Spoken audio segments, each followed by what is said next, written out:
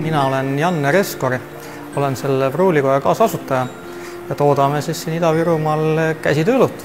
miks me asutasime pruulikoja? võib-olla siis sellepärast, et meil sõpradega oli ühesugune huvi.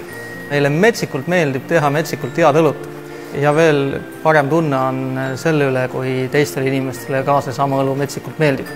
Purtse pruulikoda viib Ida-Virumaa ja, ja üldse Purtse küla Eesti kaardile et kui me täna vaatame meie pudeli etikettide kujundusi, siis seal iga pudeli peal on killukene Ida-Virumaad.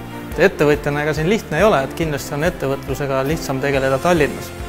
aga Ida-Virumaal on see, see miski, mida, mida mujal ei ole. et aga, ja seda oskavad ainult seletada need inimesed, kes siin, kes siin toimetavad. osalemine Ida-Virumaa aasta ettevõtte konkursil tähendab Purtse pruulikoja jaoks võib-olla seda, et meid on märgatud siin ja ka teistel inimestel läheb korda see, mida me siin Purtses teeme.